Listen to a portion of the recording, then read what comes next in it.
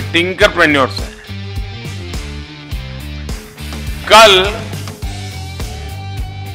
ये leading entrepreneurs बनने वाले हैं। आज देश के युवा, हमारे स्टूडेंट अपने डिजिटल वेंचर्स खड़े कर रहे हैं। स्टार्टअप शुरू कर रहे हैं।